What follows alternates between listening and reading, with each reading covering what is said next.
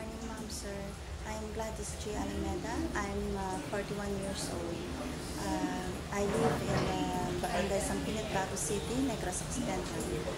Uh, I am uh, I am graduated with a two-year course. Uh, I took up uh, computer system design and programming course at AMA University. Uh, I am an eldest daughter and I have uh, four, three brothers and four sisters.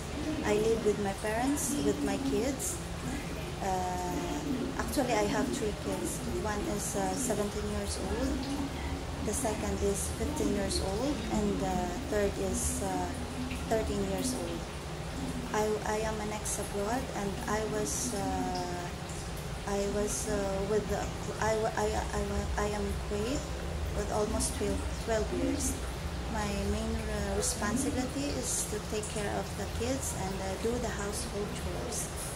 Sir, ma'am, I am uh, honest. I am hardworking and I have patience. Uh, if you if you are giving me a chance to work with you, I am I am sure that I will give my best to be a good and uh, honest uh, worker. Thank you so much.